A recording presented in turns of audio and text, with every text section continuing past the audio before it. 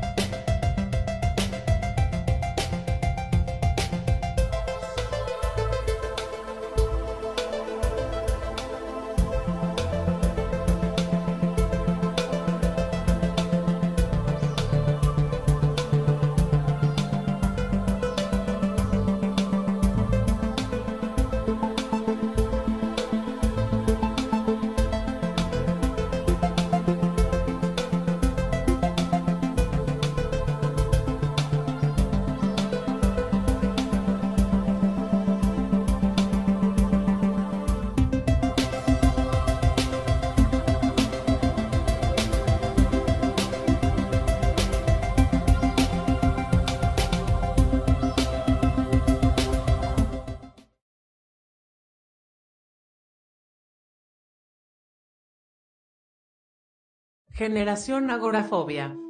Después de meses de encierro, los adultos solo quieren salir de casa. Para algunos niños, el problema es más complicado.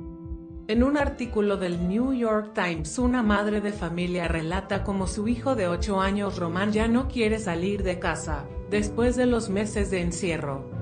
Durante el primer mes o dos, dice la madre, Roman pareció estar bien con la vida en la burbuja, mientras se encorvaba sobre la mesa del comedor durante horas escribiendo guiones para una película de stop action protagonizada por sus figuritas de Star Wars.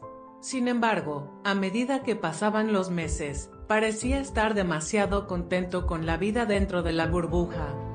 Ahora, dijo la señora Kian, de 37 años, él no quiere dejar las cuatro paredes de esta casa.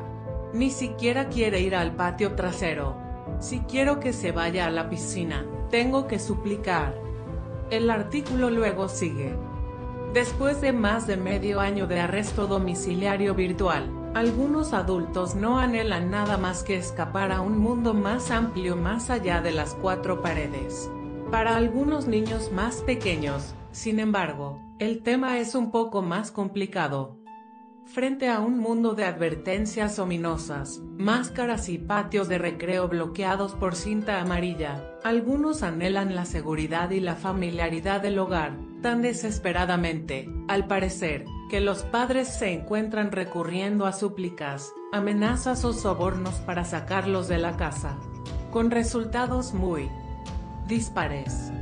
En el mismo artículo, psicóloga infantil de San Francisco Nina Kaiser, cuyo equipo de nueve terapeutas se especializa en temas relacionados con la ansiedad.